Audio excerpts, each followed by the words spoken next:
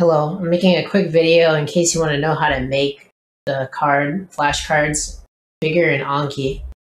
So just open up Anki, click on the deck button, see your list of decks, you go to the deck that you want to change, just click study now. There's a, an edit button at the bottom left, so click on that. At the top it says fields and cards here. You're going to want to click on cards um, in the middle box here, it says styling. And you'll see font size equals whatever pixels. So if you want to make it bigger from 60, uh, I think it defaults at um, 20. But let's just put 70, for example. It's nice and big.